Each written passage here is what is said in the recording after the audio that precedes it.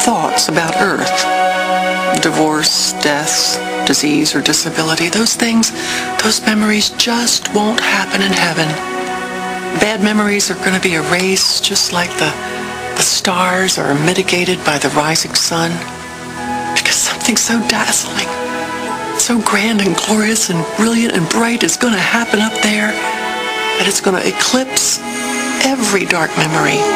And we won't forget so much as we will have no more need to remember discouraging times.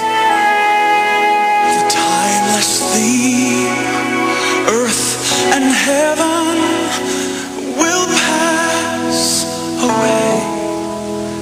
It's not a dream. God will make